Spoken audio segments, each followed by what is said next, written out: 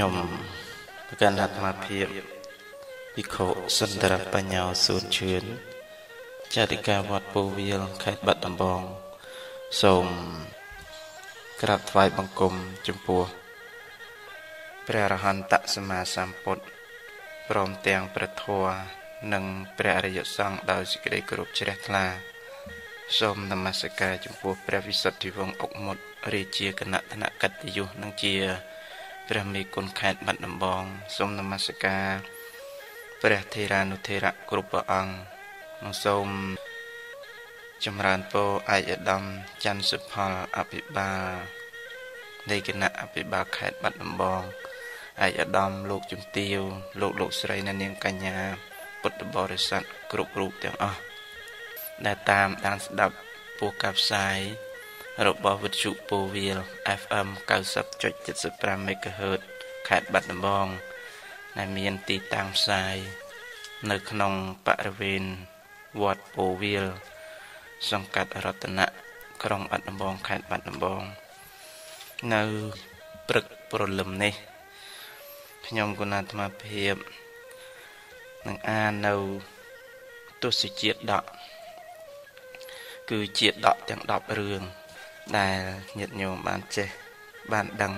រួចមកហើយហើយទស្សជាតិដកនេះ ជាការរៀបរៀងរបស់បណ្ឌិតមហាជឹមសុំ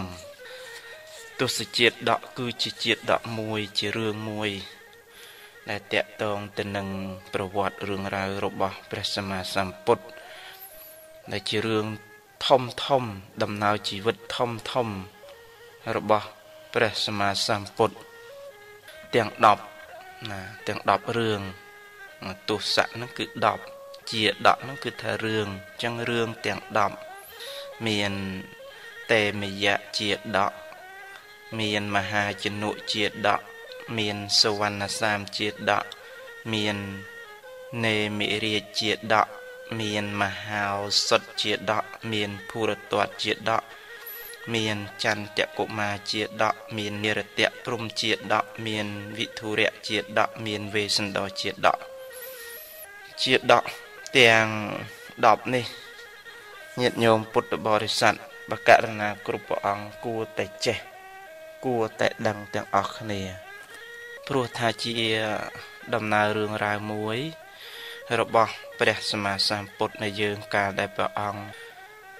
សន្សំបារមី ហើយក្នុងប្រវត្តិរឿងរ៉ាវនេះសុទ្ធតែជារឿងមួយដ៏អស្ចារ្យបំផុតដូចជាមហាជំនួ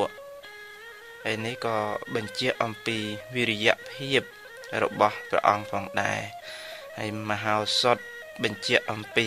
ដំណើររឿងរ៉ាវដែលព្រះអង្គចេះនិយាយណាកើតមកភ្លាមចេះនិយាយនាំឆ្នាំទឹកមកឲ្យបៃតាព្យាបាលរោគបៃតា ហើយសវណ្ណសាមជាដកគឺជារឿងមួយដែលបញ្ជាក់អំពីការដឹងគុណបម្រើមេត្តាបិតាវេសន្តរជាដកក៏បញ្ជាក់អំពីការធ្វើទានដ៏អស្ចារ្យដោយសារតែព្រះអង្គឲ្យដំរីបច្ច័យនិកេនទៅស្មុំយចកណែជាតិចុងក្រោយ បន្ទាប់ពីព្រះវេសន្តរមកគឺសុទ្ធធាត់កុមារក៏ចេះនិយាយដែរគឺប្រវត្តិរឿងរ៉ាវទាំង10រឿងរបស់ព្រះសម្មាសម្ពុទ្ធព្រះអង្គកើតជា ព្រះបរមពុទ្ធិសត្វនោះកសាងនៅបារមីមួយមួយហើយនៅក្នុងចំណោមជាដកទាំង10នេះអាត្មាភាពនឹងអាន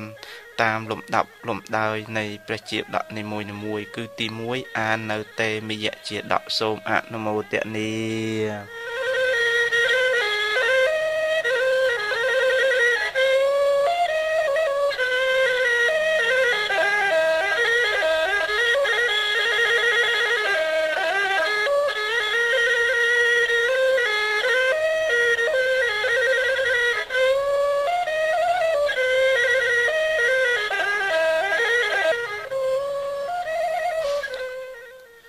តេមយៈជាដកទី1កាលព្រះពុទ្ធជាបរមសាស្តាចារ្យគង់នៅក្នុងវត្តចេតពុនទ្រង់ប្ររពនៅមហាភិនិសក្រមបារមីនេខមៈបារមី ការទ្រង់ចេញសាងព្រះភ្នោះជាធម្មជាតិញ៉ាំងព្រះអង្គឲ្យដល់នៅត្រើយគឺព្រះនិព្វានទ្រង់សម្ដែងព្រះធម៌ទេសនាថាមីបណ្ឌិច្ចៈយ៉ាង វិភាវយៈដូចនេះជាដើមសេចក្តីថា ថ្ងៃមួយភិក្ខុទាំងឡាយប្រជុំគ្នា ក្នុងសាលាធម្មសភាសរសើរនៅមហាពនិសក្រមរបស់ព្រះមានបុណ្យព្រះអង្គទ្រង់ព្រះបច្ឆាសួរថា អ្នកទាំងឡាយប្រជុំគ្នា និយាយនៅរឿងអ្វីភិក្ខុទាំងនោះ ក្រាបបង្គំទូលតាមដំណើរ ទើបព្រះអង្គមានព្រះពុទ្ធដីកាថាឥឡូវនេះតថាគតមានបារមីពេញគ្រប់គ្រាន់ហើយលះបង់នៅរាជសម្បត្តិទៅសាងមហាភិនិសក្រមមិនអស្ចារ្យទេ បើពីដើមទើបអស្ចារ្យកាលភិក្ខុទាំងឡាយអរតនីក៏ព្រះអង្គទ្រង់សម្ដែងនៅអតីតនិទានដូចតទៅនេះ អតីតេភិក្ខវេពីរិណសយ៉ាង កាសិករាជានិមៈធម្មេនៈសមេនៈរជាងការេសេមនាលភិក្ខុទាំងឡាយ ក្នុងកាលកន្លងទៅហើយព្រះមហាក្សត្រប្រណីម កាសិករាជសោយរាជតាមច្បាប់ មានសមភាពក្នុងនគរពិរិណសីទ្រង់ពុំមានព្រះរាជបុត្រឬក៏ព្រះរាជបុត្រ ធីតាសំបីមួយព្រះអង្គនោះទេ អ្នកនគរភ័យខ្លាចផុតព្រះរាជវង្សទើបទ្រង់ឲ្យស្រីស្នំទាំង16000នាក់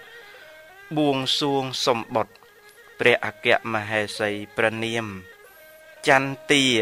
ជារាជธิតានៃព្រះបាទមន្តរាជសមាទានឧបោសថហើយធ្វើសច្ចកិរិយាប្រាថ្នាបុត្រ ដោយអំណាចតេជះសិលឧបោសថទើព្រះឥន្ទ្រាធិរាជអរតនីព្រះពោធិសត្វជាទេវបុត្រនៅឋានត្រៃត្រឹងឲ្យមកចាប់បដិសន្ធិក្នុងផ្ទៃព្រះនាងមន្ទានោះ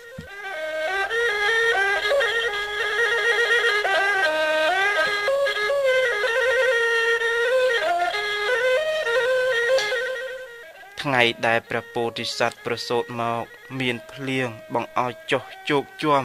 ពេញដែនកាសីហាក់ដូចជាធ្វើឲ្យហរតីនៃមហាជនក្នុងប្រទេសឲ្យទទឹកគ្រប់គ្នាព្រោះហេតុនោះទើបព្រះរាជាទ្រង់ព្រះរាជទានព្រះនាមព្រះរាជបុត្រនោះថាតេមយៈកុមារ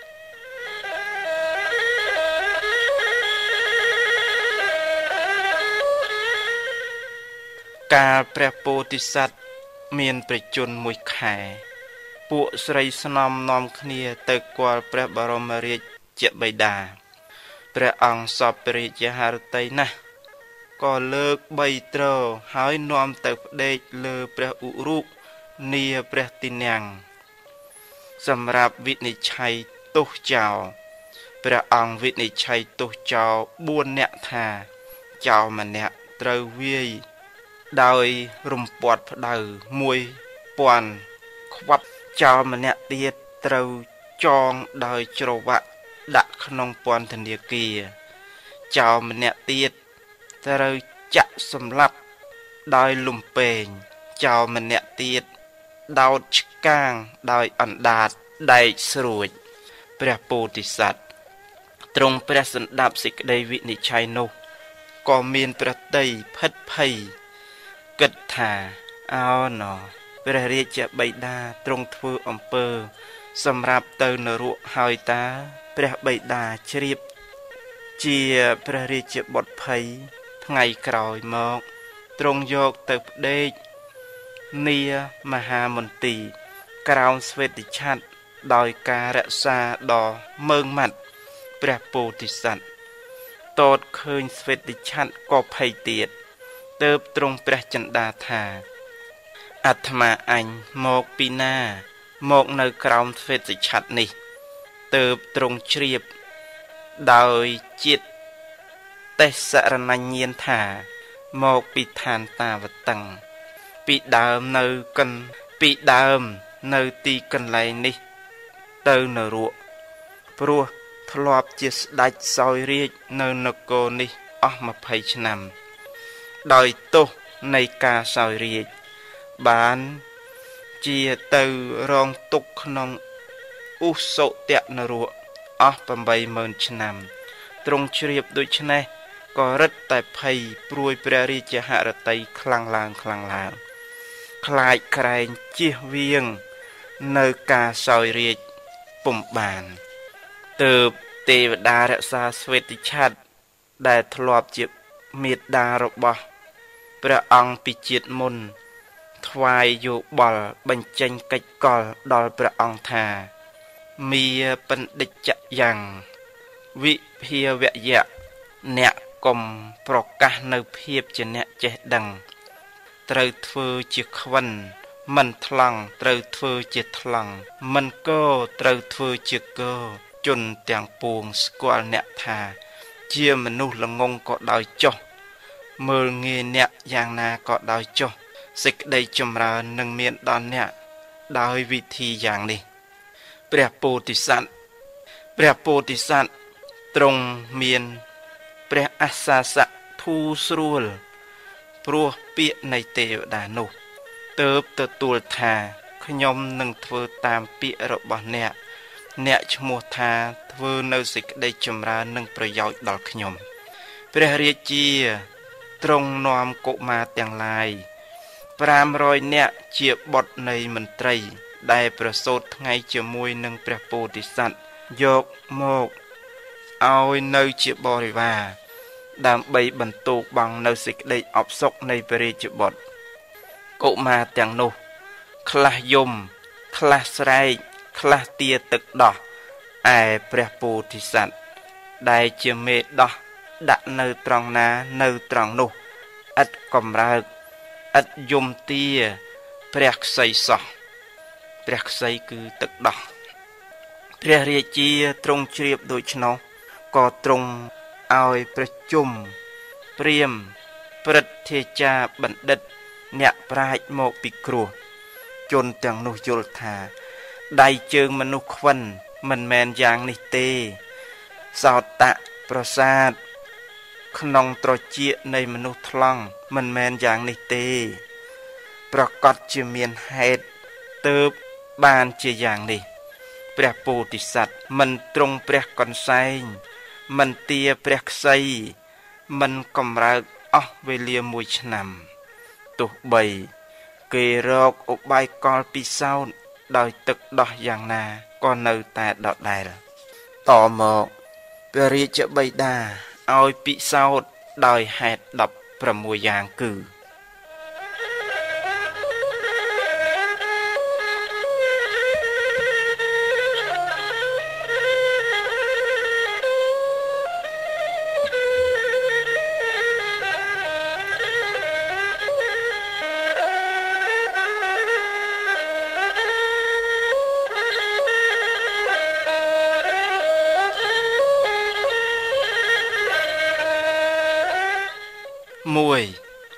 ពិសោធន៍ដោយនំចំណីក្នុងកាលដែលព្រះពោធិសត្វមានប្រជជនមួយឆ្នាំកន្លងហើយ គឺទ្រង់ឲ្យយកនំចំណីគ្រប់ប្រភេទមកដាក់ជុំវិញព្រះរាជកុមារកណ្ដាលហ្វូងទារកទាំង500នាក់ទី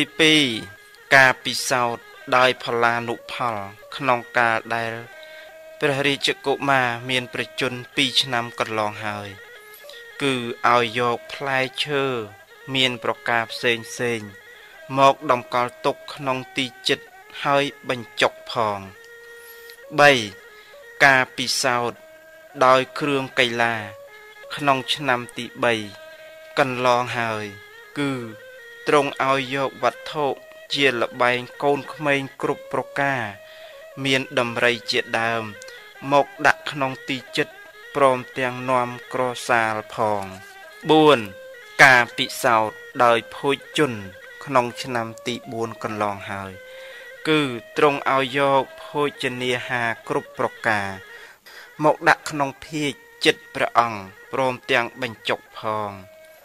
កុមារឯទៀតដណ្ដើមគ្នានៅវត្ថុទាំងនោះឯព្រះរាជកុមារឥតកំរើកសោះ5ការពិសោធន៍ដោយភ្លើង ក្នុងឆ្នាំទី5កន្លងហើយ គឺទ្រង់ឲ្យធ្ធ្វើផ្ទះធំធំមានទ្វារច្រើនបាំងដោយស្លឹកត្នោតជុំវិញព្រះពោធិសត្វគង់នៅក្នុងផ្ទះនោះទៅបឲ្យលបឈួលភ្លើង6ការពិសោធន៍ដោយដំរីចុះព្រេងក្នុងឆ្នាំទី6កន្លងហើយ គឺទ្រង់ឲ្យបង្ហាត់ដំរីមួយយ៉ាងស្ទាត់ អាចធ្វើតាមបង្គាប់គ្រប់ប្រការ ហើយយកដំរីនោះ មកឲ្យបំភ័យព្រះពោធិសត្វដោយប្រការផ្សេងផ្សេង7ការពិសោធន៍ដោយពស់ក្នុងឆ្នាំទី7កន្លងហើយ គឺឲ្យយកពស់គ្រប់ប្រភេទមកចងមាត់ហើយយកទៅដាក់ឲ្យពាន់ពាត់ជុំវិញសរីរៈរាងកាយនៃព្រះពោធិសត្វ 8ការពិសោធន៍ដោយមហោស្រពក្នុងឆ្នាំទី8កន្លងហើយ គឺទ្រង់ឲ្យអ្នកលេងមហោស្រពគ្រប់ប្រភេទគ្រប់និគមជនបទមកបញ្ចេញសិល្បៈមកបញ្ចេញសិល្បកម្មថ្វាយ9ការពិសោធន៍ដោយគ្រឿងអាវុធក្នុងឆ្នាំទី9កន្លងហើយ គឺទ្រង់ឲ្យបុរសម្នាក់ កាន់គ្រឿងអាវុធផ្សេងផ្សេងទៅកំហែងគំរាមម្ដងម្នាក់ម្ដងម្នាក់10ការពិសោធន៍ដោយសូរស័ព្ទត្រែសាំងក្នុងឆ្នាំទី10កន្លងហើយ គឺទ្រង់ឲ្យបាំងព្រះសន្តិយាជុំវិញព្រះសយនាឲ្យបោះព្រះសន្តិយា គ្រប់ទិសទាំង4ឲ្យអ្នកផ្លុំសាំង ផ្លុំត្រែដ៏ពូកែពូកែលបផ្លុំបញ្ញក់តាមប្រហោងព្រះសន្តិយា11ការពិសោធន៍ដោយសូរស័ព្ទស្គរក្នុងឆ្នាំទី11កន្លងហើយ គឺទ្រង់ឲ្យវាយស្គរបញ្ញាក់12ការពិសោធន៍ដោយពន្លឺភ្លើងប្រទីបក្នុងឆ្នាំទី12កន្លងហើយ គឺព្រះរាជកុមារពុំដែលប្រទះទីងងឹតព្រះរាជាឲ្យលបលុតភ្លើងព្រមគ្នាឲ្យព្រះរាជកុមារគង់តែមួយព្រះអង្គឯងក្នុងទីងងឹតពងតែងងឹតងងឹតក៏លបបើកភ្លើងព្រមគ្នា ដែលមានចំណាំងយ៉ាងខ្លាំង13ការពិសោធន៍ដោយរុយក្នុងឆ្នាំទី13កន្លងហើយ គឺទ្រង់ឲ្យយកស្ករអំពៅមកលាយទឹកលាបព្រះរាជកុមារពេញសពសារពាង្គកាយឲ្យរុយទាំងឡាយរោមឯអុក14ការពិសោធន៍ដោយគ្រឿងសំអុយក្នុងឆ្នាំទី14កន្លងហើយ គឺទ្រង់ឲ្យយកគ្រឿងសំអុយគ្រប់យ៉ាង មានម៉ូតនិងករិស័កជាដើម មកលាបព្រះពោធិសត្វពីពេញទីកន្លែង ដែលព្រះពោធិសត្វគង់15ការពិសោធន៍ដោយដុតភ្លើងឆ្អើក្នុងឆ្នាំទី15កន្លងហើយ គឺទ្រង់ញ៉ាំងព្រះពោធិសត្វឲ្យផ្ទុំលើព្រះបញ្ចាញ៉ាំងរាជបុរសឲ្យដុតភ្លើងរោលពីក្រោម16 ការពិសោធន៍ដោយមេត្តុក្រៀមក្នុងឆ្នាំទី16កន្លងហើយ គឺញ៉ាំងពួកកញ្ញាដ៏ល្អល្អឲ្យស្អិតស្អាងដោយប្រការផ្សេងផ្សេងមកប្រឡូកប្រឡែង ប្រឡោមតាមផ្លូវកាមា អ្នកចាត់ការពិសោធន៍ទាំង16បែបក្នុងមួយបែបមួយបែប អស់រយៈកាលមួយឆ្នាំមួយឆ្នាំ ដោយល្បិចផ្សេងផ្សេងយ៉ាងណាក៏ដោយក៏ព្រះពោធិសត្វនៅតែខ្វិនខ្វងកោថ្លង់ដដែលពុំមានកំរើក ដោយការស្រេកឃ្លាន ដោយការចង់បាន ដោយការផិតភ័យឡើយ កាលបើក្រុមអ្នកពិសោធន៍ទាំងអស់អស់ចំណេះទាល់គំនិតហើយទើបព្រះមហាក្សត្រ ទ្រង់ចាត់ឲ្យអញ្ជើញពួកព្រាមអ្នកទាយលក្ខណៈមកបន្ទោសថាណែព្រាមទាំងឡាយក្នុងកាលដែលព្រះរាជកុមារប្រសូតអ្នករាល់គ្នាទាយថាកុមារនេះប្រកបដោយធញ្ញបញ្ញលក្ខណៈសេចក្តីអន្តរាយរបស់កុមារនេះមិនមានកុមារនេះនឹងមានសមត្ថភាពអាចគ្រប់គ្រងមហាទ្វីបទាំង4 មានទ្វីបតូច2000ជាបរិវារបានផងឥឡូវនេះឃើញថា ទំនាយនៃអ្នករាល់គ្នានេះ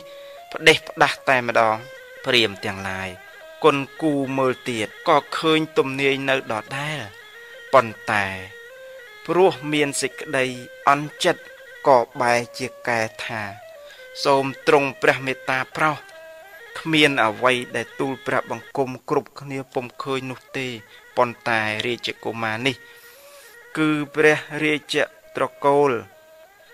ទាំងឡាយបួងសួងសុំបានមក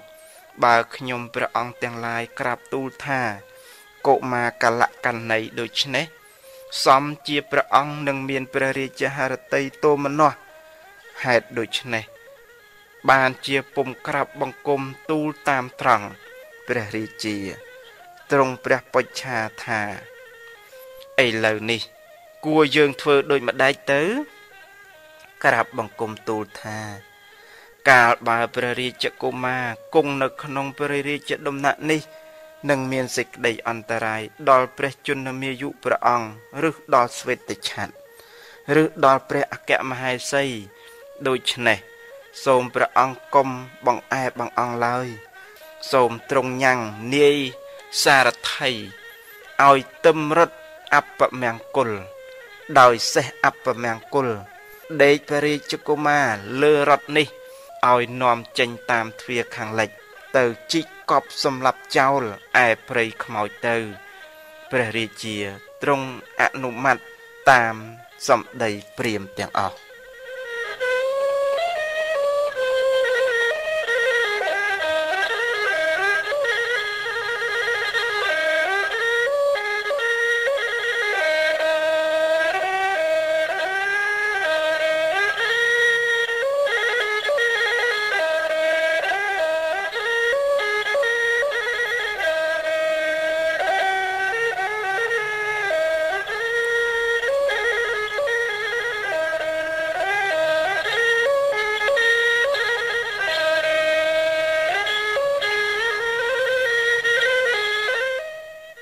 ព្រះនាង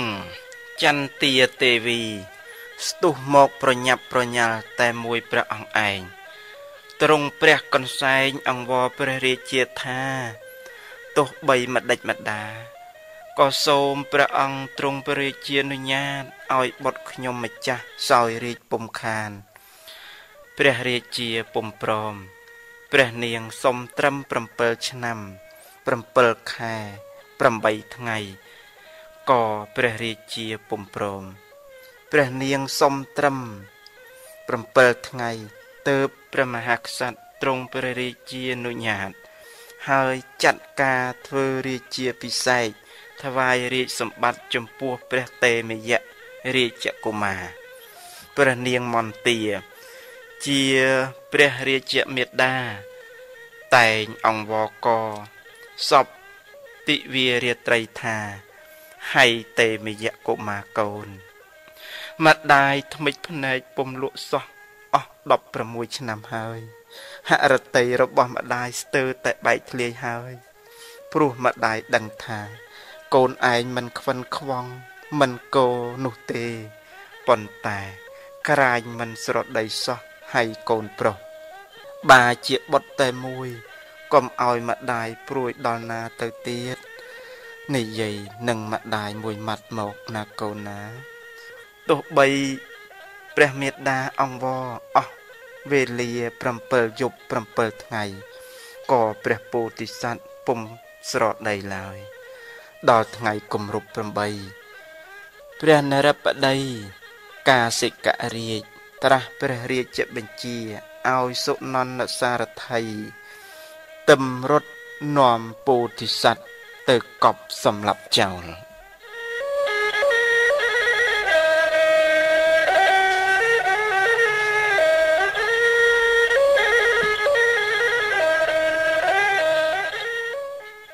សុនន្ទសារថីទទួលធ្វើតាមព្រះរាជបញ្ជាប៉ុន្តែ ដោយអានុភាពនៃព្រះរាជកុមារក៏ទេវតាបងវែង ឲ្យទឹមនៅរត់មង្គលដោយសេះទាំងឡាយជាមង្គលនាំព្រះពោធិសត្វចេញទៅ តាមទ្វារខាងកើតទៅវិញ ចេញពីនគរអស់ផ្លូវចម្ងាយបីយោជដល់ព្រៃស្ងាត់មួយ សារថីស្មានជាព្រៃខ្មោចក៏ដោះសេះបញ្ឈររទេះដោះគ្រឿងអំពររបស់មហាក្សត្រវិជ្ជាបង្វិច ហើយទាញជាប់កាប់កាប់រណ្ដៅរៀង4ជ្រុងលំដាប់នោះ ព្រះមហាក្សត្រទ្រង់ព្រះចិន្តាថា កាលនេះជាកាលដែលអាត្មាអញព្យាយាមហើយក៏ក្រោកច្របាច់ព្រះហត្ថាឆ្វេងដោយព្រះហស្ស្ដាំ ច្របាច់ព្រះហស្ស្ដាំដោយព្រះហស្ឆ្វេង ច្របាច់ព្រះបាទដោយព្រះបាទទាំងពីរហើយចុះចាករត់ឈានពី3ជំហានស្មានបានថា បើទៅបានមួយថ្ងៃចម្ងាយមួយយោជក៏បាន ហើយទ្រង់ព្រះចិន្តាទៀតថា បើនាយសារថីចាប់ក្រញិចព្រះអង្គកប់ទៅរណ្ដៅព្រះអង្គអាចក្រញិចនាយសារថីវិញបាន បើព្រះអង្គចង់លបង ពលលៀងក៏ចាប់ទីបំផុតរទេះរត់ក្រវីវិលខ្ញាល់ដូចជាគេក្រវីកូនរទេះសម្រាប់កូនក្មេងលេង ហើយទ្រង់មានព្រះរាជចំណងចង់បានគ្រឿងប្រដាប់ស្អិតស្អាងព្រះកាយព្រះអិនឲ្យវិសកម្មទេវបុត្រយកគ្រឿងមហា ប្រសាទមកថ្វាយ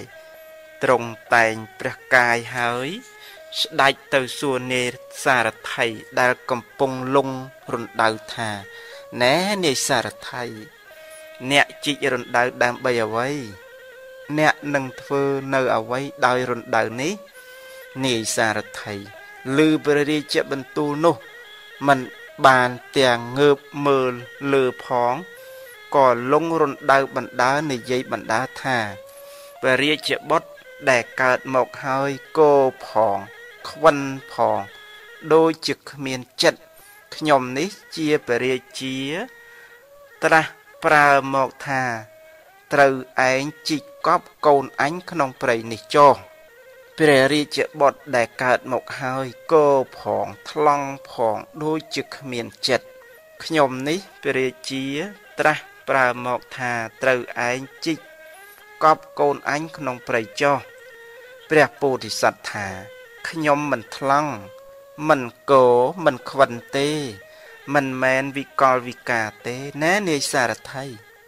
បើអ្នកកប់ខ្ញុំក្នុងព្រៃអ្នកឈ្មោះថាធ្វើខុសច្បាប់ អ្នកចូលមើលផ្លូវនឹងដើមដៃខ្ញុំ ចូលស្ដាប់សម្ដីខ្ញុំ នាយសារថៃងើបមើលខាងលើឃើញរូបសម្បត្តិរបស់ព្រះអង្គឥតស្គាល់សោះក៏សួរថា អ្នកជាទេវតាឬជាកន្ធប់ឬក៏មុរិនតសកទេវរាជអ្នកជាអ្វី ជាកូនអ្នកណា ធ្វើម្ដេចខ្ញុំនឹងស្គាល់អ្នកបាន ព្រះពោធិសត្វថាខ្ញុំមិនមែនជាទេវតា មិនមែនជាកន្ធប់មិនមែនជាមុរិនតសកទេវរាជទេ អ្នកឯងប្រុងនឹងកប់ បកគលនោះគឺខ្ញុំ ជាបុត្រព្រះបាទកាសិករាជអ្នកឯងរស់នៅយ៉ាងស្រួល ព្រោះអាស្រ័យព្រះរាជាអង្គណា ខ្ញុំជាបុត្រព្រះរាជាអង្គនោះណែនាយសារថៃបើអ្នកឯងកប់ខ្ញុំក្នុងព្រៃអ្នកឯងឈ្មោះថាធ្វើខុសធម៌បុគ្គលអង្គុយឬក៏ដេកក្រោមម្លប់ឈើណា មិនគប្បីកាប់មែកឈើនោះទេ ព្រោះ នឹងត្រូវចាត់ជាមនុស្សទ្រុះមិត្តឯមនុស្សទ្រុះមិត្តពិតជាមនុស្សលាមកណាស់ព្រះរាជាទុកដូចជាដើមឈើខ្លួនខ្ញុំទុកដូចជាមែកឈើអ្នកឯងទុកដូចជាបរោះចូលទៅជ្រោកបុគ្គលណាមិនទ្រុះមិត្តបុគ្គលនោះ បើទុកជាចេញផុតអំពីផ្ទះរបស់ខ្លួនក៏នៅតែជាអ្នកមានភាសាហាច្រើន ជនច្រើនអ្នក អាចចិញ្ចឹមជីវិតដោយសារបុគ្គលនោះបាន បុគ្គលណាមិនត្រុះមិត្តបុគ្គលនោះទៅកាន់ជនបទនិគមរាជធានី គេតែងបូជាក្នុងទីទាំងអស់នោះ បុគ្គលមិនត្រុះមិត្តបុគ្គលនោះពួកចៅក៏មិនកំហែងខ្សាត់ក៏មិនមើលងាយបុគ្គលនោះរមែងកន្លងនៅសត្រូវទាំងអស់បុគ្គលណាមិនត្រុះមិត្តបុគ្គលនោះមិនខឹង រមែងមកកាន់ផ្ទះរបស់ខ្លួនដោយទឹកមុខរីករាយហើយជាអ្នកដែលត្រូវគេទទួលដោយរីករាយក្នុងសាលប្រជុំទាំងជាបុគ្គលឧត្តមរបស់ក្រុមញាតិផង បុគ្គលធ្វើសក្ការៈបូជាចំពោះមិត្តរមែងត្រូវមិត្តធ្វើសក្ការៈបូជាវិញ អ្នកគោរពសំពះមិត្តរមែងបានសេចក្តីគោរពនិងការសំពះវិញគលណាមិនត្រុះមិត្ត រមែងពេញដោយគុណដោយយុះបរិវារដោយកតេស័ព្ទបុគ្គលណាមិនត្រុះមិត្តបុគ្គលនោះរមែងរុងរឿងដោយភ្លើង ដូចទេវតាជាអ្នកមិនលះបង់ចាកសេរីឡើយបុគ្គលណាមិនត្រុះមិត្តសัตว์ចិញ្ចឹមមានគោជាដើមរបស់បុគ្គលនោះរមែងគ្រាយកូនច្រើនពូជទាំងឡាយ ដែលបុគ្គលនោះដាំរមែងដុះដាលឲ្យផលល្អបុគ្គលនោះទោះបីធ្លាក់ទៅក្នុងជ្រោះជាដើមក៏រមែងបានជាទីពឹងគល់មិនត្រុះមិត្តសត្រូវទាំងឡាយក្របសង្កត់បុគ្គលនោះមិនបានដោយខ្យល់ក្របសង្កត់មិនបាននៅដើមជ្រៃដែលមានរឹសនិងពួរចាក់ជ្រែកជុំវិញនាយសារថីក្រាបបង្គំទូលថា សូមទ្រង់ស្ដេចមកទូលព្រះបង្គំជាខ្ញុំនឹងនាំព្រះអង្គទៅកាន់ព្រះរាជដំណាក់សូមទ្រង់សោយរាជចោះសេចក្តីចម្រើននឹងមានដល់ទ្រង់ទ្រង់នៅធ្វើអ្វីក្នុងព្រៃព្រះតេមយៈថាណែនាយសារថៃរាជសម្បត្តិណា ដែលខ្ញុំត្រូវបានដោយអធម្មចរិយៈឬដោយជនជាញាតឬក៏ដោយទ្រប ខ្ញុំមិនត្រូវការដោយរាជសម្បត្តិនោះទេ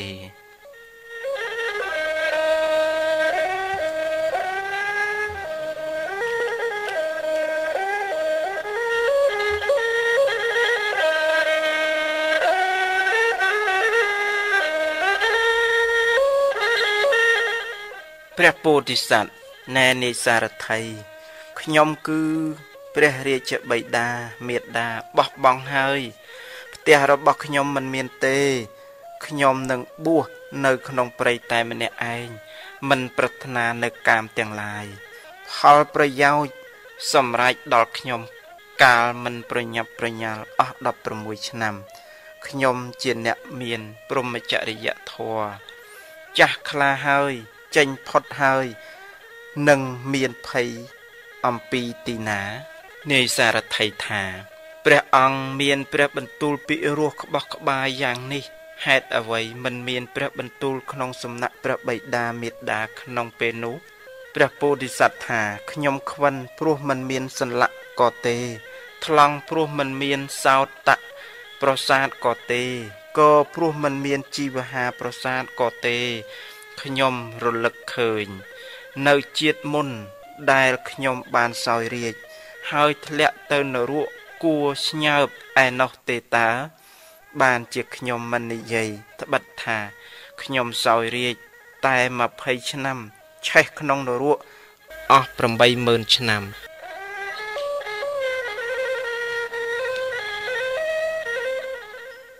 នាយសារថៃថាបបិទ្ធព្រះរាជបុត្រទូលព្រះបង្គំជាខ្ញុំនឹងបួសក្នុងសំណាក់ព្រះអង្គដែរ សូមទ្រង់ព្រះរាជានុញ្ញាតឲ្យបួសផងព្រោះទូលព្រះបង្គំជាខ្ញុំពេញចិត្តនឹងបព្វជិដែរព្រះតេមយៈថាមិនបានទេសារថីអ្នកឯងចូលប្រគល់រត់ធ្វើខ្លួនឲ្យអស់បំណុលសិនសឹមមកចុះព្រោះបព្វជិរមែងសម្រេចដល់បុគ្គលមិនមានបំណុលជាកម្មដែលពួកឥសីសរសើរហើយនាយសារថៃថា សូមសេចក្តីចម្រើន មានចំពោះព្រះអង្គទូលព្រះបង្គំជាខ្ញុំនឹងធ្វើតាមព្រះបន្ទូលព្រះអង្គសូមព្រះអង្គគង់នៅក្នុងទីនេះទម្រាំទូលព្រះបង្គំជាខ្ញុំនាំព្រះរាជាមកដល់ព្រះបិតារបស់ព្រះអង្គទ្រង់តតឃើញហើយ សំជានឹងមានព្រះរាជហឫទ័យរីករាយព្រះពោធិសត្វថា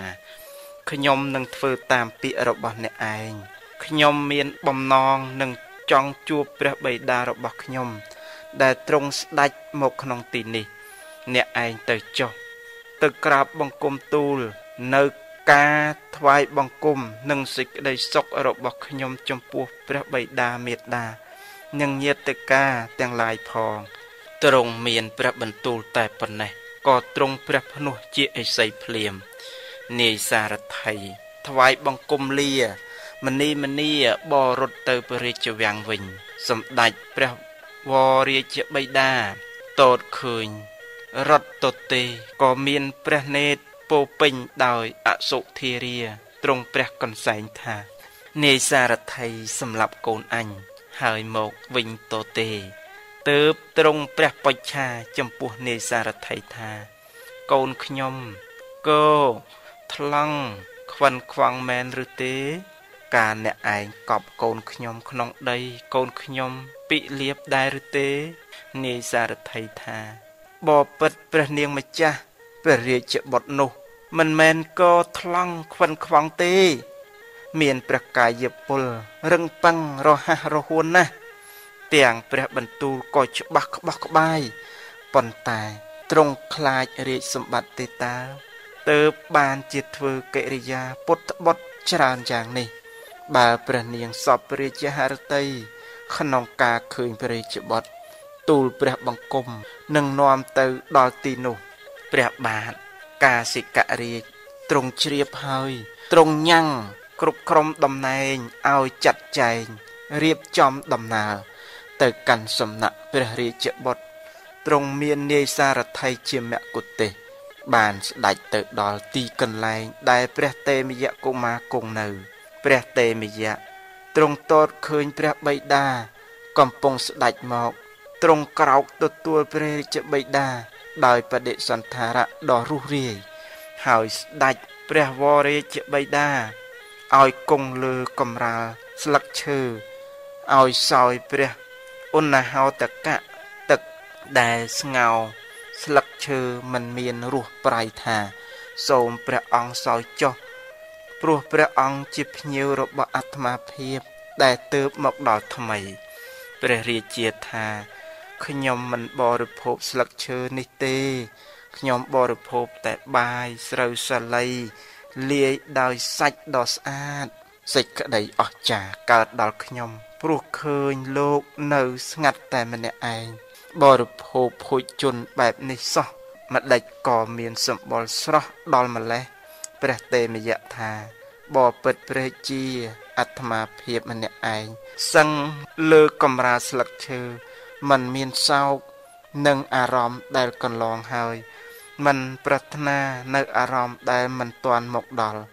បានជាសម្បុរអាត្មាភាពស្រស់ថ្លាពួកជនពៀលតែងរីងស្ងួតដូចដើមបបោះ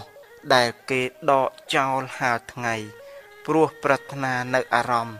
ដែលមិនទាន់មកដល់ព្រោះសោកនៅអារម្មណ៍ដែលកន្លងទៅហើយព្រះរាជាថាណែកូន ចូលនឹងឲ្យដល់បាននៅពលដំរី ពលសេះពលរត់ពលថ្មើរជើង ពលអ្នកកាន់គ្រឿងក្រោះស្រីស្នំនិងនិវេសដ្ឋានទាំងឡាយ ជាទីត្រេកអរចូលបាញ៉ាំងកូនទាំងឡាយ ឲ្យកើតក្នុងស្រីទាំងនោះ ហើយសឹមបួសវិញចុះបាឯងជាក្មេងកំឡោះមានសក់ខ្មៅស្រិលចូលសោយរាជចុះសេចក្តីចម្រើននឹងមានដល់បា បាននៅក្នុងព្រៃធ្វើអ្វីព្រះតេមយៈថា មនុស្សកំឡោះគួរប្រព្រឹត្តព្រមចរិយធម៌ព្រោះថាបព្វជិរបស់មនុស្សកំឡោះពួកអិសីសរសើរហើយ អាត្មាភាពនឹងប្រព្រឹត្តព្រមចរិយធម៌ពុំត្រូវការដោយរាជសម្បត្តិទេបបិទ្ធព្រះមេត្តាព្រះបិតាអាត្មាភាពឃើញគេនៅក្មេងៗទើបនឹងចេះនិយាយក៏ស្លាប់ដែរឃើញកុមារីមានសម្បុរដូចមាសក៏ស្លាប់ដែរតែនរណាទុកចិត្តក្នុងជីវិតនេះថាអាត្មាឯងនៅក្មេងមិនទាន់ស្លាប់ទេ ដូច្នេះបាន អាយុនៃកុមារក៏គង់តែថយតិចទៅតិចទៅ ព្រោះការកន្លងទៅនៃយប់និងថ្ងៃ កាលបើយប់និងថ្ងៃមិនកន្លងទៅទទេទទេទេសัตว์ក៏ឈ្មោះថា ត្រូវសត្រូវបៀតបៀនជានិច្ចផង ត្រូវសត្រូវរួបរឹតជានិច្ចផង បើយ៉ាងនេះតើព្រះអង្គរៀបអភិសេកអាត្មាភាពក្នុងរាជសម្បត្តិដូចម្ដេចទៅ របស់ដែលគេត្រូវត្បាញនឹងជារបស់ នៅសល់តិចខាងមុខយ៉ាងណាមិញជីវិតរបស់សត្វទាំងឡាយក៏យ៉ាងនោះដែរផ្លូវទឹកដ៏ពេញកាលហូរទៅមិនត្រឡប់ថយក្រោយវិញយ៉ាងណាមិញអាយុរបស់មនុស្សទាំងឡាយកាលកន្លងទៅមិនត្រឡប់វិញយ៉ាងនោះដែរផ្លូវទឹកដ៏ពេញនាំយកទៅនៅឈើទាំងឡាយក្បែរច្រាំងយ៉ាងណាមិញ ជារានឹងមរណៈក៏នាំសត្វទាំងអស់ទៅ ប្រយោជន៍អ្វីដោយភរិយា បើភរិយាគង់តែនឹងស្លាប់ ប្រយោជន៍អ្វីដោយវ័យបើវ័យត្រូវជារាគ្រប់សង្កត់ជាពុំខាន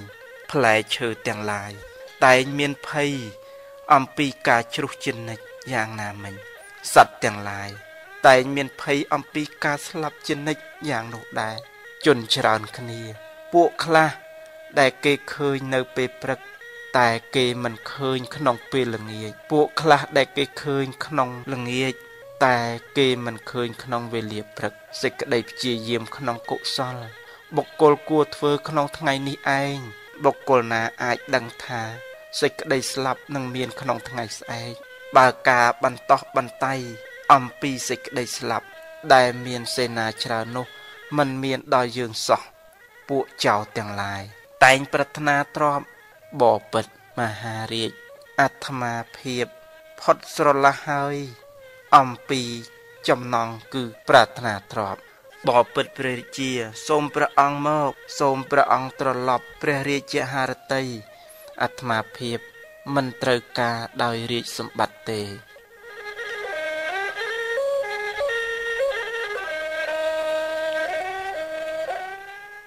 សម័យនោះ ព្រះបាទកាសិករាជនិងព្រះនាង ចន្ទាទេវីព្រមទាំងស្រីស្នំ16000នាក់ហើយនឹងពួករាជបរិវារមានអាមាត្យជាដើមក៏សពរាជហរតីនឹងទ្រង់ព្រះភ្នោះដែរទៅបទ្រង់ឲ្យចំហទ្វាឃ្លាំងទាំងអស់ថា ជនណាប្រាថ្នាអ្វីចូលយកចុះហើយទៅទ្រង់ព្រះភ្នោះតាមព្រះរាជបុត្រ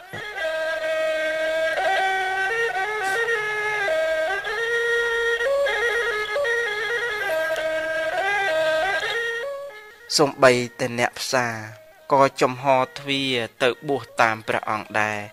នៅពេញពេញអាស្រមដែលព្រះអិននិមិត្តថ្វាយចម្ងាយមួយជ្រុងមួយជ្រុង3យោជ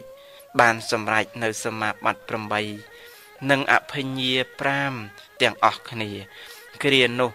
ស្ដេចសមន្តរាជទាំងឡាយបានលើថាព្រះបាទកាសិករាជ ទ្រង់ព្រះភ្នោះហើយក៏មកបន្តបន្តគ្នាចំនួន3ប្រទេស ដើម្បីប្រជែងរករាជសម្បត្តិក្នុងនគរពារាណសីហើយប្រែព្រះតីទៅទ្រង់ព្រះភ្នោះទាំងអស់ទៀតក៏បានសម្រេចនៅសម្បត្តិដូចគ្នាដែរពួកដំរីពួកសេះคล้ายជាដំរីព្រៃសេះព្រៃអស់